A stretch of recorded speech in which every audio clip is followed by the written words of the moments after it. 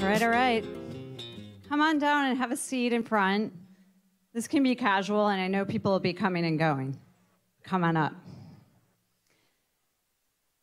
All right, we're going to get started. As you, we have a lot, we have a mixed audience here tonight. There are a, we're probably leveraged a little more on the Wolverine side. So for those of you who are Michigan fans, let us know you're here. Woohoo! All right. Uh, we also have, we invited Airbnb employees to come on down and learn from uh, the discussion today. So thanks for being here. I'm Andrea Robb. I have worked at Airbnb for about three years. I come to you today in two capacities. Um, I recently joined as a board member on the University of Michigan Alumni Association, um, which is Go Blue, which has been a lot of fun. And in my uh, work there, in the volunteer work, I've been able to get to know some of the people on campus and be reconnected with all that's going on in Ann Arbor. So today we're bringing two deans out to meet with you. Um, so I am in the talent design space. Kate Shaw and I both work together very closely. Kate is going to be our moderator tonight. Uh, she is the director of learning, I'm the director of talent design, and we are thinking about these topics a lot and trying to figure out how to apply them to the workspace, which is the future of work, the future of leadership, and how we can be thinking about the ever changing space of work in a fast growing economy, changing workplace.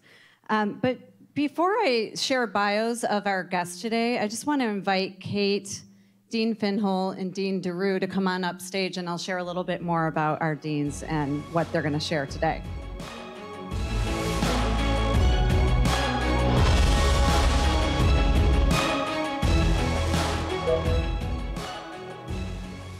All right, all right, welcome. So Scott is on my side of the panel, and he gave me permission to call him Scott. And we've got Tom here.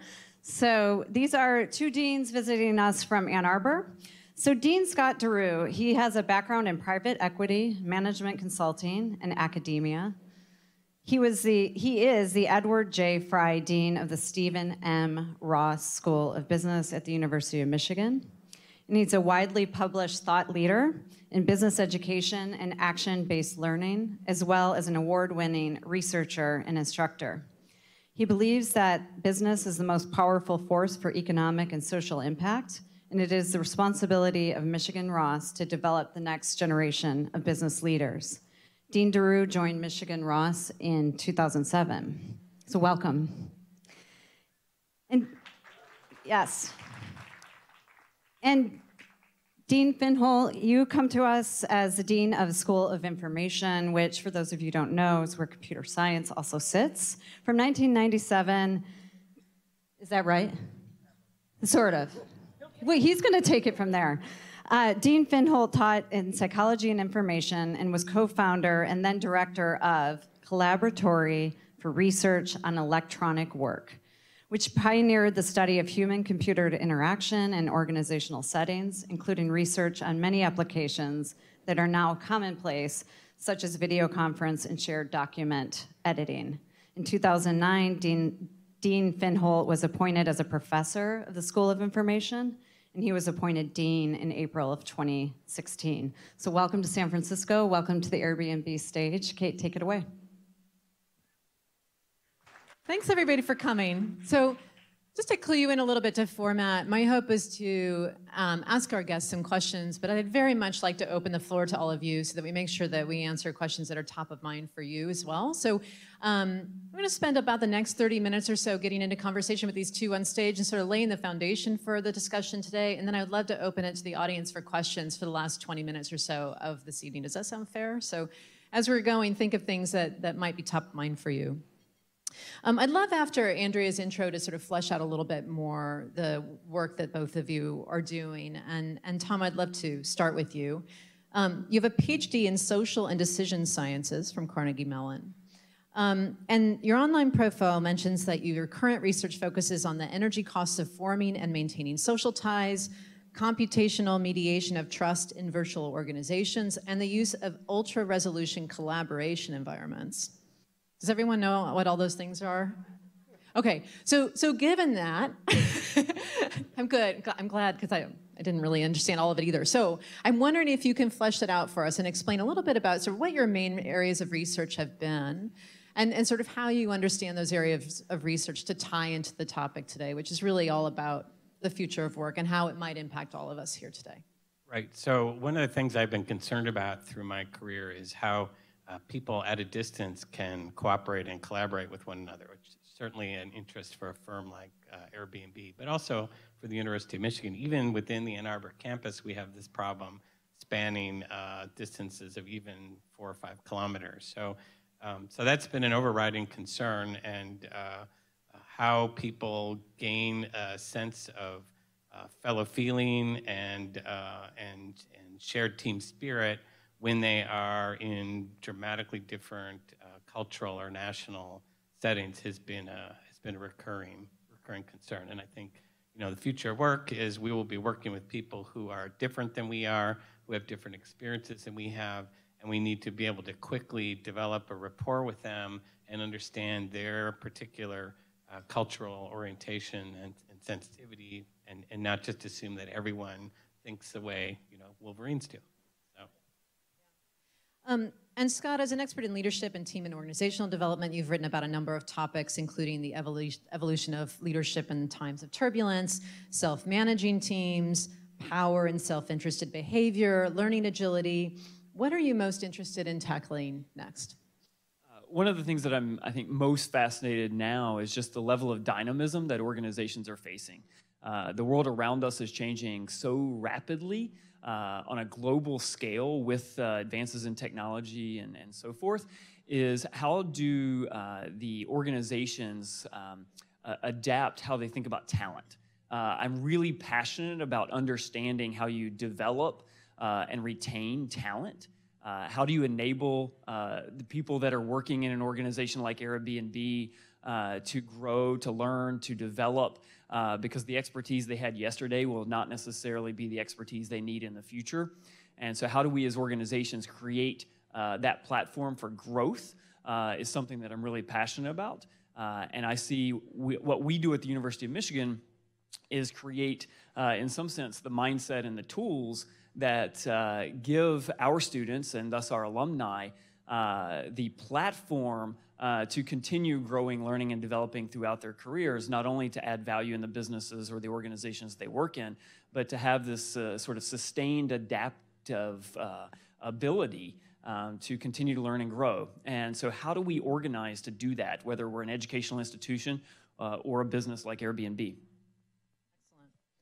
So, so to segue a little bit into the future of work, um, it's obviously been a very hot topic over the last several years, and, and the sort of the prevailing nature of the discussion is that there are these several forces that are all colliding all at once to build a different future than what we've experienced in the past, and that those, those forces are primarily one of technology, first and foremost, that technology is drastically changing our world, um, the demographics are changing drastically, right? We've got um, people are living longer, but we are also seeing increased diversity in organizations, um, whether those organizations are global or not global. The fact of the matter is that the face of the employees is now um, changing. And then, of course, there's the globalization of talent markets, where someone sitting in San Francisco is now suddenly competing for the same kind of work that someone might be might be looking to do in any other part of the world. Do you agree that these are the three primary factors that are sort of changing the way that we work? And if so, how do you understand those factors and the way that even those factors are evolving over time? So, you know, we have the concern at the University of Michigan about identifying talent, of course, and we've thought a lot about uh, how technology changes that, uh, that process. And it's been one of the drivers in my school for us to invest and explore more in uh, online education. So um, we've been running uh, a couple of MOOC specializations that have been very successful over the last few years. One of the things that allows us to do is uh, expose our, our brand and our identity to a global audience that we were previously unable to reach. So 80% of the students who take uh, School of Information MOOCs are outside the United States uh, in places that they will they will never visit Ann Arbor. They will never come to the big house. They will never do many of the things that we associate with being Michigan students. But nonetheless, they will be Michigan students. And um, we're very excited about the potential of this global catchment for identifying people who, who have you know who have stepped forward through their own curiosity and interest to identify as uh, talented individuals who are now worthy of, of attention and, and, and focus. So um, we're, we're very excited about that. It's something that we're uh, pushing forward with uh, pretty aggressively. I think that's actually a wonderful example of the mega trends that you're referring to. Uh, if you just think about that example, you've got globalization and technology coming together uh, to create new opportunities for education, where we're reaching people that we never could reach before. Uh, and I mean, we, we're in the same boat. So on the flight over uh, today, uh, this morning, I was having a conversation via LinkedIn on the flight with a student from Greece who's in our MOOC about what she is learning and how it applies to her organization. I would have never reached that student uh, in the past. Uh, so to me, that's really exciting. Uh, I was trying to think as you were asking your question, are there other mega trends there that I think are reshaping the future of work, if you will? And, and if I was forced to add one, one that I would add uh, is really what our society is expecting of the organizations within which we work. Uh, so if you think about Airbnb, for example, uh, a, core component, a core component of the mission, the purpose, as I understand it, is a notion of belonging. How many organizations out there as part of their core mission have belonging as a, as a part of that, right? That's, that's something that is relatively novel. Uh, and one of the things I think is changing is our perspective on the role that organizations, businesses play in society. It's one of the reasons that uh, about 18 months ago, uh, we stood up an initiative um, that is really at the intersection of business and the impact that business has in society, whether that's economic, uh, job opportunities, value creation in economic forms, whether it's social, uh, social mobility, social change. Um, that role that business can play in society, we're not only developing students who have a certain set of skills or a certain expertise, whether it be in computer science or finance, marketing, whatever it might be, but also with a deeper perspective, I think, on the role that their organizations are going to play in, in society. And not only consider, say, the shareholders of the firm and how do we maximize profit, but how do we run a financially sustainable business that has a positive impact economically and socially in the communities within which we operate? And for me, that's really inspiring. I think that's another mega trend that is reshaping the world of work in ways that a decade, 20 years ago, was not as prevalent as it is today. So maybe we can talk for a moment then about that sort of changing social contract between employers and employees, right? There's now far more independent workers than there ever were before, far more members of the gig, sorry, the gig economy than there ever were before. Um, and yet at the same time, you sort of speak to this sort of changing value proposition that employers need to keep up with in terms of what it is they are offering to their employees, how they provide them with opportunities for growth, et cetera. I'm wondering if you can talk a little bit about how you see the landscape changing between employers and employees, or even employers and their contractors. Yeah, so um, he, he, has a faculty member in his school, Jerry Davis, who is fond of pointing out that uh, we're actually better off when more of us are employed by very large organizations than if we're all engaged in sort of gig economy type deals or where we are free agents and contracting with firms and so forth because the large firm has the capacity to provide quite a generous safety net for for its employees. And to me the challenge is how do we how do we achieve that without some of the liabilities of those large firms which is the you know the kind of the conservatism the uh, risk aversion the um, minding the status quo and so forth plus hierarchy and many of the other kind of you know evils of the organization person, if you will. So, so to me, that's the that's the sweet spot is achieving uh, fulfilling work, you know, uh, satisfying this part of Maslow's hierarchy, um, and then also this part up here. And uh, you know, I don't think we found that that answer yet, but uh, I don't think it's purely to say that we were all free agents and we're all negotiating with um, holding companies, uh, and, and so forth. Yeah, I mean, I mean, think about it this way: What are the uh, services and the infrastructure uh, assets that large organizations provide? Something as simple as healthcare, right? If you become a free agent uh, working in the gig economy, where do you get your healthcare from? Uh, from a learning perspective. Uh, who's investing in you? I think one of the biggest challenges that tech companies have today is the rate of turnover. Um, because learning organizations are going to wake up and, and, and ask the question who do we invest in and why if in 12 months they're gone?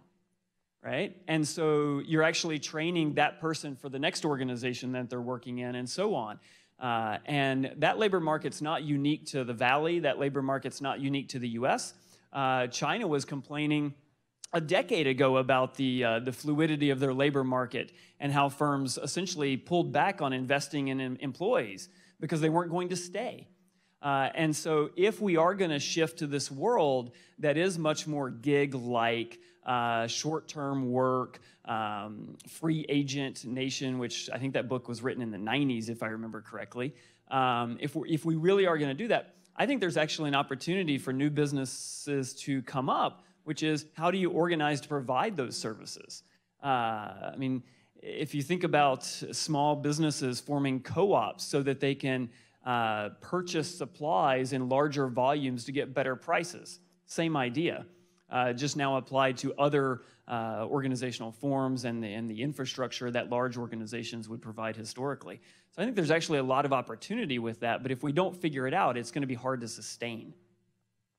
What, what, have you found? I'm curious around just the relationships, particularly in remote collaboration. Um, just how that's changing over time as people come and go more quickly or as teams form internationally. What are you seeing in terms of the overall trends or trajectories with respect to teaming, collaborating, and particularly collaborating across cultures? So, um, so, you know, I've been a proponent of remote collaboration my entire career, but the thing that I keep coming back to is the significance of breaking bread together. Is that in all of these cases, we find uh, the most successful distributed teams are the ones that occasionally have co-location. So they, uh, they, they're, you know, in the case of uh, grantees on NSF awards, they come together at all hands meetings. Um, you have retreats or other kinds of convocations where you you reaffirm what your values are and you know you, you have shared experiences i don't think we've found a way yet through um, through these mediated mechanisms to replace the you know the kind of esprit you generate through um, through watching a game together or going on a camping trip together or, or, or whatever. And so that you know I, I think it's often difficult for people to understand that you can you can dematerialize some of this stuff through you know video conferencing and whatnot but we have evolved as a species to orient to one another to read facial and and cues and body language and to um, to to convene with one another, and we can't ignore that, even though we're racing into this future where we can uh, carry on conversations with people on our transcontinental flight. I mean, it's, it's interesting. I was, uh, I was having a conversation with some of our students uh, a couple of weeks ago who are part of this new program in the business school where we're actually bringing students from all across campus, uh, social work, uh, school of information, engineering, et cetera, where we're actually building businesses uh, in the school in partnership with other companies. So, like Shinola, for example, their headphone business, we're helping them run that business as part of the curriculum now. And it's fascinating. So, I had a student who is much more advanced in technology than I could ever dream of being. And she came in and she was, um, I was asking her, okay, so how is it working with the employees at Shinola, your team who, who's across campus and so forth? and she was essentially lamenting about uh, the lack of effective communication because they couldn't get together.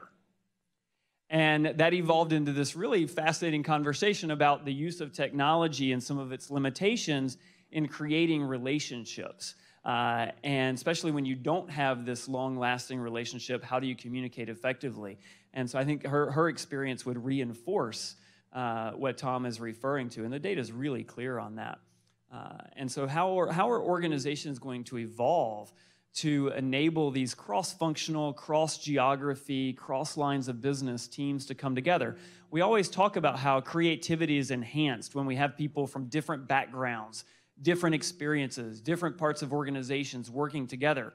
And then we elevate the value of technology because technology allows us to connect in ways that we've never been able to do before. But at the same time, we also understand the limitations of that in creating relationships that enable that creativity to come to life. And I don't think organizations have, uh, have figured that out exactly as to how to make that work. And whether you're in education or an Airbnb, um, I think that's something that we're all still evolving to.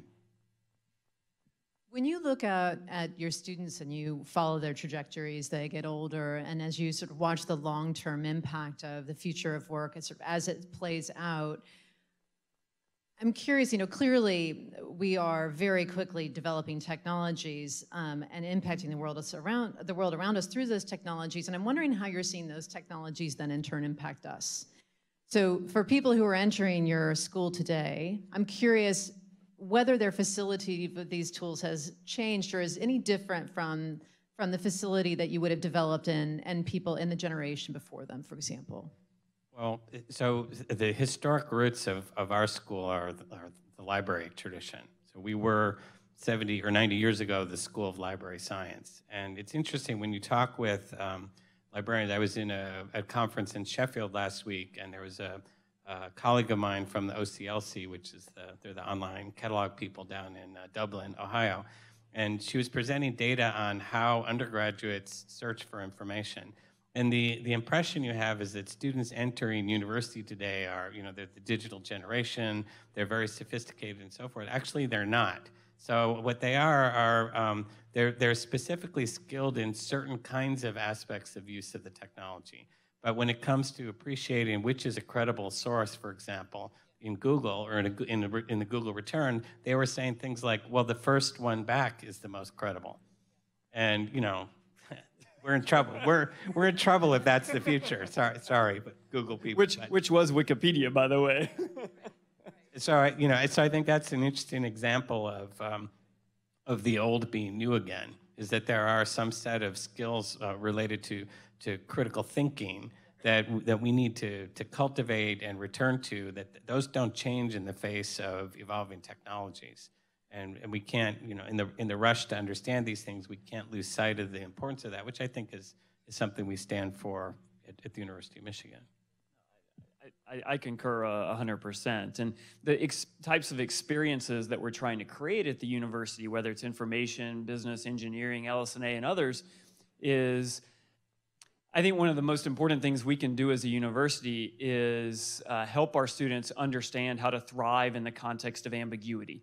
So, for example, if I go search for something in Google and I come to believe that the first return is the most valid, reliable uh, set of information, uh, that's not me being effective in the context of ambiguity. Uh, I need to be able to consume that information, think critically about it, understand its source, understand its pros and cons, et cetera, and being able to really uh, think critically and analytically about that information and how that's informing the decision we're trying to make. Uh, and so if we get a, a 17, 18 year old student who is thinking like that, or a 28 to 30 year old student who is thinking like that, uh, I see it as our obligation to society. And I genuinely believe that our obligation and responsibility to society to help them become critical, analytical uh, thinkers where they're processing information uh, in a much richer way. Uh, whether they're making business decisions or uh, you know policy decisions or whatever the case may be, um, and uh, and one of the reasons that I, I, I, really believe in what we're doing as a university is no matter what discipline, what, what vertical area of expertise you're talking about on campus, we're all focusing on these horizontal skills of critical analytical thinking and then the social skills of how do you work together to be able to uh, generate uh, the most value out of that diverse group. That's a common thread that cuts across regardless of what vertical you're talking about. So to expand on that a bit, I mean, the, the expectation is that the more jobs become automated, the more important basic human skills will become, whether it's ingenuity, curiosity, imagination, empathy, social, emotional intelligence. Um, it sounds to me like, well, I guess the question is, do you agree, A? And B, what does that mean for those verticals, the future of those verticals that you're teaching today that are presumably driving some deep expertise in some subject matter? I, I don't think the requirement for the expertise goes away. In, in, fact, the description you've just given is that that, re, that requirement will become more intense over time. But I also think that, um, that you need to develop uh, students who have compassion, who have the ability to, to place themselves in someone else's shoes, understand where they're coming from, and, and to be able to do that very, very quickly, much faster and more adept in a more adept fashion than is possible right now. And we probably underplay that in the, in the curriculum. So um, as an example, uh, in my master's programs at the School of Information, over half of the students come from outside the United States. And I look at that and I say that is an outstanding opportunity for our US born students to start practicing as graduate students the kind of experiences they're going to be living with every day. But their attitude instead is that they've been saddled with people who are perhaps not as facile in English as they are, who aren't as adept at expressing themselves in, in writing. Um, you know, so, so they tend to see it as a half empty rather than a half full proposition, and that's probably what we have to do more we have to do more education to, to get people over that. I mean, it's, I mean, it's interesting as, as, a, as a business school. So I get this question. So if you take our undergraduate program, uh, the schools that we would compete for talent with in our undergraduate business program, many of them are four-year business programs. And so you come in and almost immediately you're studying finance, marketing, et cetera. And though we are freshmen enrolling, uh, we uh, our uh, undergraduate freshmen spend 99% of their freshman year not in the business school, and a significant portion of their sophomore year, and a notable portion of their junior and senior. The question is, is why? And we believe uh, at our core that, for example, if I have a student that later in his or her career is making a really important decision for their business that is going to impact more than just their business, the community within which they exist, the web of relationships that that company has. I want them to understand history because chances are that same decision has been made at some point in human history. And I would like them to understand the historical context within which they're making that decision or the cultural, social context within which they're making these decisions. And it's that liberal arts holistic education that's critically important for that. And so, though we are teaching the vertical of business, if you will, and there are certainly verticals within that, it's critically important that we're developing those, what I would call horizontals, uh, so that we're developing really well rounded leaders for that next generation because the world of work, it comes right back to the future of work. The world of work is going to require that more and more uh, because of what technology is enabling, because of what globalization and the borders that are being broken down, despite the political rhetoric that we hear every day, uh, that ship sailed. Uh, and so we live in a global world, uh, and that's to our betterment. Uh, and it's how we embrace that and how we educate people to thrive in it is what we're after. So, one one of the, you, you mentioned the future of the expertise will be as important you know tomorrow as it is today if not more so. And and i wonder if we can debate that just for a moment because i think one of the things we struggle with oftentimes is given that information is so easily discoverable whether or not it's true is, is i guess the other question. But what is this place of expertise in today's organization? And given the fact that we are all having to adapt and readapt and readapt and reinvent and reinvent how long might any one of us expect to hold on to any expertise? What is it? What and, and does expertise essentially have a shelf life? So, so I'm reminded of um, a story from uh, from the Digital Equipment Corporation, where when they first started developing the technology for tech editing, which, which when you when you put the VAX together, which was you know the, the their famous mini computer, you your customer would buy it in different configurations and those configurations were edited by humans. And the, the company decided it would be much more efficient to uh, produce a, an AI version of that.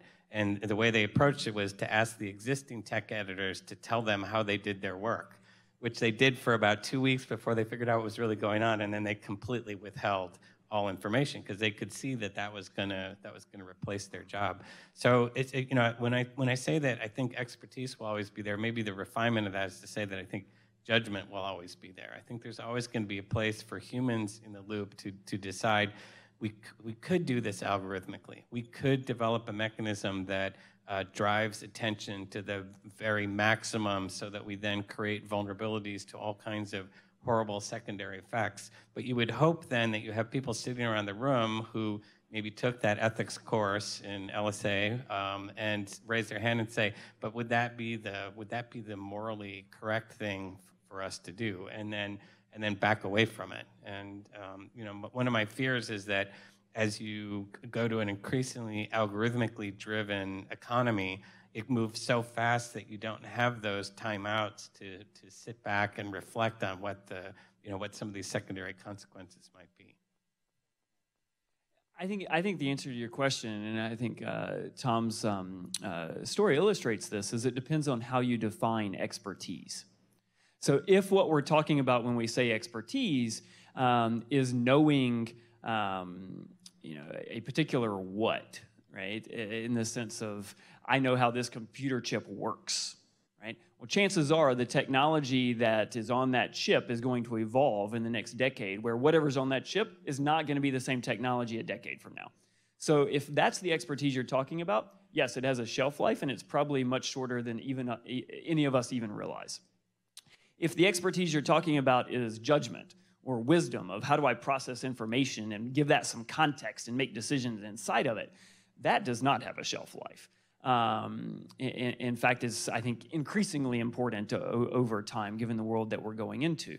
A lot of the horizontal skills we're talking about in terms of the social skills, uh, the interpersonal skills, the cultural skills, the, the cultural intelligence, the world we live in, that is at a premium, and I don't think that's, I don't think that's going away. Uh, and the one that I would add to that, that we haven't talked as much about, is the ability that I have – to learn and adapt over the course of a very long career. So I'll give you an example. So I have a faculty member who is retiring this year. Uh, and when he got his PhD, computers in the way that we know them did not exist. Okay? Yet he today is one of the more successful venture capitalists in the Midwest of the United States and is investing heavily and has invested heavily in technology companies that we would all look up to. Okay? So he has had to reinvent himself many times over.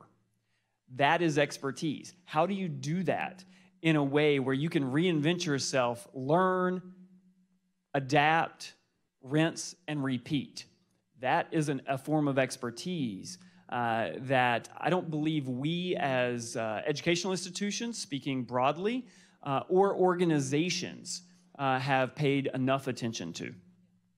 Well, maybe we can then segue into the sort of last chapter of this discussion, and then I would love to open it up for questions, which is really about what is the future then of learning, right? Because it used to be that we would learn, and then we would work, and then we would retire, and we would, you know, go enjoy our lawns and water them and you know, and now all those things have become blended, right? We were living, we're working, we're, we're, we have our leisure experiences, but all of this is all rolled up um, together.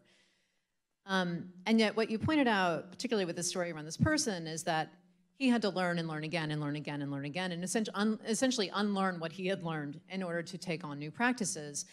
So your job then as a university is not just to educate as a one and done, but really to set up a lifetime of learning. So how do you do that? Like, what does that actually end up looking like at the University of Michigan today? How do you create experiences that that that that your students can then essentially go and self-replicate, so that they can continue to drive their learning over time? Yeah, so so for me, it is uh, creating within the alumni student body, if you will, the capacity to organize their own learning activities and um, and we as a university may need to be more adept at providing the scaffolding for that. But my, my, assumption is they have many better ideas about what they want to do than, than say we would or a committee of our faculty would if they sat around a room and, and thought about it. And then bring our faculty in as experts or consultants or advisors al along the side. Uh, and that that process should be happening over the entire lifespan. So, you know, so much of university education is focused on uh, taking 18 year olds and graduating them at 21 and then launch and forget. And I don't, I don't think that's probably a successful model for the future. And I don't think that's going to be one that endears us to, to our alumni. We need to keep producing value over this, the span of their career, over the span of their lives.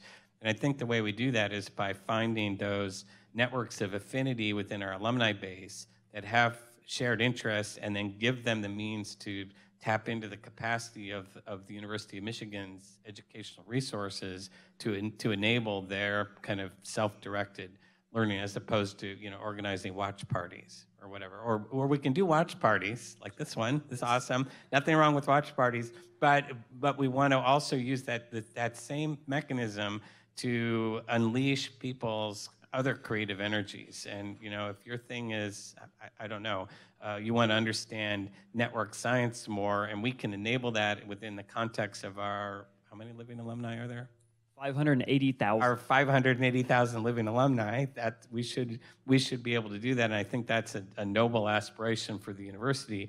We, we don't currently have the capacity to do that. And So I think all of that's exactly correct. And I'll, I'll give you examples of things that I'm thinking about and uh, keep me up at night, not because I'm worried, but because I'm excited. So the CEO of Coursera is in the room this evening. And um, uh, imagine what they, they are today. So I think there's roughly 30 million, correct me if I'm wrong, uh, users on the platform. I think there's a goal to have 300 million at some point in the future. So imagine what that is. Now imagine that that becomes like uh, what Amazon is for your shopping experience. So when you create a profile on Amazon, based on what you put in, they probably know, I'm making it up, 50% of everything they need to know to personalize a shopping experience for you. And then about after the third purchase, they know about 80% of everything they need to know to personalize a shopping experience for you. Or Netflix with your entertainment consumption, right? Unless you're my wife and I who has, share an account and confuse it completely, right? Based on what you watch, it is customizing and personalizing, not based on what you tell it, but based on all of the other people that are on it and what they're watching with patterns, right? Why can't learning do the exact same thing? You don't have to be a rocket scientist to figure out that Coursera and other platforms like that are going to create something similar as a way to customize and personalize the learning journey that you're on. And why does it start when you're 17 or 18 for college? Right? So, uh, depending on the subject, depending on the person, you might be ready for that at age 12, right? So, I think that mass personalization uh, educational experience and learning experience that is going to be a wave, uh, a, sea a sea change, if you will, in higher education that I, I think is right there. Um, universities themselves. Uh, universities, we just celebrated our 200th birthday uh, as a university. We did something right because we lasted 200 years. In my view, we've been a content organization for a really long time. You paid a tuition to come access content.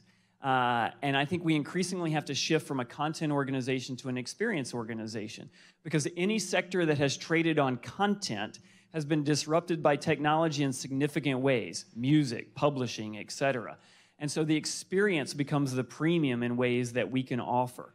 Open loop universities, where why is, why is the university experience a transaction? Why is it that you show up and you pay tuition for one year, two years, three years, or four years, depending on your degree, and then you graduate and then you're gone and, and welcome to the world? Your learning didn't start when you came, and it certainly didn't end when you left. So, why can't we be more of an open loop university where you're coming as you need uh, for these new experiences? Why is your tuition a tuition? Why is it not a subscription? Right? These are all the types of things that I think are going to revolutionize higher education, but really reshape what learning looks like for kids, adults, all the way through our lifetime. That's great. Um, I'm curious if anyone in our audience has a question. If not, I've got a whole lot more, but oh, thankfully we see one. Okay, hi. Um, do we have an audio, a mic out in the? Andrea's got a mic for you, so we can all hear you. Thank you. This actually this touches on a lot of what you just said, uh, Dean DeRue. But this uh, question is primarily for Dean Finholt. So I recently took a, a Coursera course by Professor Charles Severance. Great course. Dr. Chuck rules. and I was just thinking, I mean, you talked about the benefits of online education, and do you view it as potentially competitive in the near term or medium term, where students will actually say, hey, I'm just going to learn through Coursera or uh, some other online option versus actually going to a university? Right. So, uh, so we grapple with that all the time, and I would say, you know, maybe four years ago there was more anxiety and paranoia about it than there than there is now. I, guess for for me, I remain confident that there are aspects of the residential experience that will re- retain value, and and there's some of the things that we've been talking about up here. It's the you know the identifying of the kindred spirit, the you know the lecture or the conversation at two in the morning about content that you have sophomore year, whatever, the requisite 2 a.m. Con- conversation sophomore year. Um, I'm not sure that that the online experience is ready to to replicate that, and um, I'm, I'm not I'm not saying that we'll never be there. I don't think it's ready right now to do that. So so I think the the the burden is on places like the University of Michigan to keep generating value for the residential experience. And what's clear to me is that um, we will not be able to do that if our orientation is to continue to put a professor at the front of a big room and, and throw the slides up on the overhead projector, which is a, now a almost 60 year old technology, and expect that, that, that people will readily pay top dollar for that experience, if you will, when they can pretty much get the same thing online. So, so we have you know, the, game is on for us. And will we be able to adapt is the, is the question. And, you, you know, we, we've looked at the, the online experiences as, as a way of challenging our thinking about the residential experience. And you know, and part of that is uh, is realizing the uniqueness of the residential experience, which is, I think, some of the kind of apprentice style learning, the experiential learning, and so forth. I don't I don't preclude that in the online setting. I think things like Augmented reality, for example, could be a, a, mechanism for delivering experiential learning at scale to, to a very broad audience. We're not quite there yet, but, um, but I, think the, I think that's where the, the game is for us. Great question. Hi, um, thank you so much again for coming um, all the way to the Bay Area. I have a question for Dean DeRue. Um, we, you talked about how social impact is something that companies to consider because that's part of kind of like the future of work, right? But currently, sometimes we talk to business folks, and still at the their goal is execution and sales and revenue for stakeholders, right, or shareholders. Um, and then you can there's discussions about like for example Uber versus Lyft. Yeah, Lyft might have or one of them might have a um, more you know a nice social impact. By the end of the day, like which one comes to me faster, and that's the one I want to use, right? So how how would you discuss or how would you argue the idea of the value behind social impact? I would love to know your perspective on that. Yeah. So uh, shareholders matter. Right? I mean, they own the company, and your company has to be financially sustainable, right? Uh, and whether you're private or public, that is true. But let's take your example of Uber and Lyft. Right? So Uber got into quite a bit of uh, trouble uh, given business practices where essentially, so who's, who's the most important? Uh, I'll give you, who are the most, two most important groups in the Uber business model? Groups of people. Drivers and riders, okay? Riders pay, right? And drivers drive. So if you're Uber and you want to maximize profits, in particular, if you're trying to go public to convince your shareholders to pay a higher price, who do you take more from? You got two choices. You can charge higher rates to your riders, which is then going to push them to Lyft for a lower price, right? Or you can take more from your drivers. Which route did Uber take? Drivers right?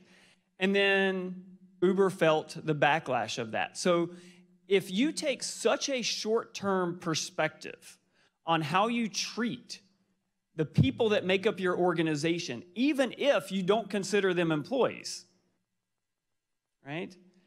Even if I only cared about shareholders, that's a bad business decision. Even if I only cared about shareholders, that's a bad business decision, right? And so that's why I'm saying when you're making decisions, you have to have a, a an appreciation for the broader context within which you're making those decisions. Even if your, your goal is not to save the world, your goal is to get a person from point A to point B, But in order to do that effectively in a sustainable way, you actually have to understand all the stakeholders that you're impacting your community, in this case, your drivers, your riders, and so on. I think it's very easy for us to sit on the sidelines and say companies only care about profits. When you talk to CEOs who really understand, I think it's actually the majority of them. Um, and yes, we can find the, uh, the, the cases of the greedy and all of that. I, I totally get that. But when you look across, you know, you'll hear language like the enlightened shareholder model, even if you don't believe in the stakeholder model of communities, employees, and so on. Even if you only care about your shareholders, as long as you think about the long term horizon, Airbnb, for example, talks about the infinite horizon of the organization, right? Not what the vision is for the 10 year, but infinite horizon. If you only cared about shareholders and you care about the long term, you can't make those trade offs. Where businesses get in trouble is, in, a, in particular, public companies, is trying to meet quarterly numbers. And that's where you get in trouble, where you start making trade offs that are actually not in the long term best interest of the firm. So I'm happy to talk about it more, but it's something I feel very passionate about um, that we're doing everything we can to develop the next generation of business leaders who have that broader perspective. You don't have to work in a nonprofit to have an impact in the world. In fact, I would argue that going to some of these large enterprises, if you want to uh, rid the ocean of plastics, then go to the large supply chains in the world, like Walmart and others, and change that. Right? And, and that gives you a platform for impact that is, that is nothing short of remarkable. I think we have time for one more question. Yes.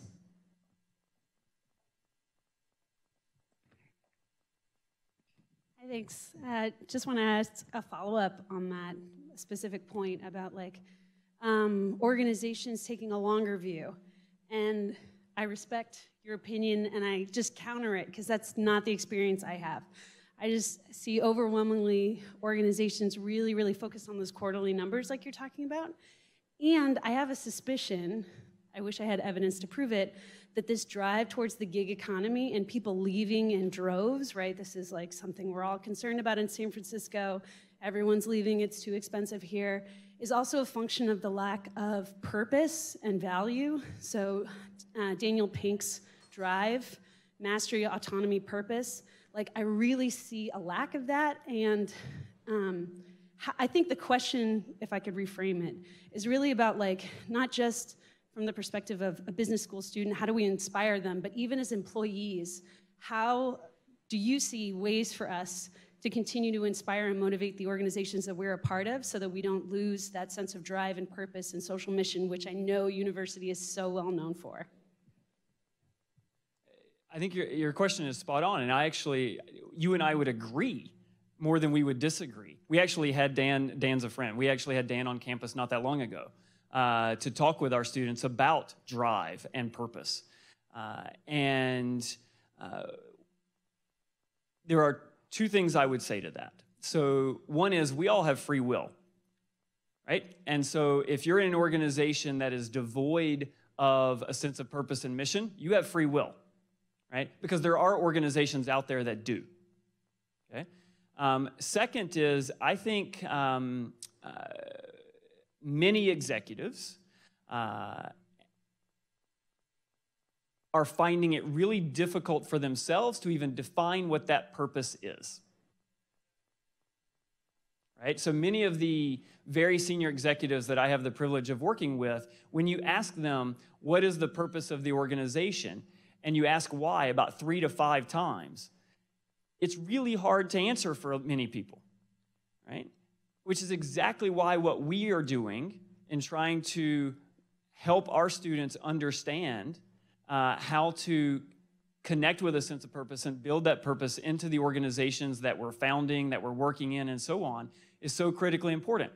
So, to answer your question specifically, what can you do as an employee? You can demand that sense of purpose. Where is it? Right? And if it's not there, you have free will. That, I mean, that would be how I would think of it. Um, so I think as a, I think Andrea was going to come on and close and sort of tell us about um, what we might expect next. But I'm wondering, well, while she's um, making her way towards the front, given the future of work, given, given the skills that you find are going to be most relevant, looking into the future of work, even in the next five years, what parting words of advice do you have for people in the audience who are, who, all of us who are striving to maintain relevance in, in, as that change unfolds? Um, well, to me, it's uh, openness to experience. And, um, and I think that for, for a lot of us, that begins by uh, voluntarily putting ourselves into positions of risk or vulnerability. And to me, nothing does that more than travel. So go, going to places that you've never been to before, meeting people that you don't encounter on a daily basis. I, I think that's kind of the, the bedrock of understanding that how to be open to, to other people and their beliefs. So that would be my parting sense. You're not just saying that because you're at Airbnb. Is this just I'm lucky? totally not You just, got saying that because I'm at Airbnb. But you know, if you want to put that up on your wall out there, that, that would be fine. Perfect. I won't charge you. with Tom Finholt. Right. Um, so I would concur. Uh, we actually had, we had Malcolm Gladwell on campus not that long ago, um, or last fall, and um, or two falls ago, and uh, he actually said the exact same thing. There was a, a question from the audience, uh, which is, "What's the one thing that you know you would give us advice with?" And it was uh, to be open to these experiences, you know, we get all kinds of language. Get outside your comfort zone, force yourself to do that, be open to different perspectives, and, and so forth. Um, so I, I, would say uh, one and a half things because they're related. Um, so the, the ability to learn and evolve uh, is critically important. Um, I had the privilege of interviewing Charlie Munger not that long ago in Los Angeles, uh, and you can see it. It's on YouTube. It was a University of Michigan alumni event, and this is a gentleman who just turned 94 years old uh, reads multiple books per week, right?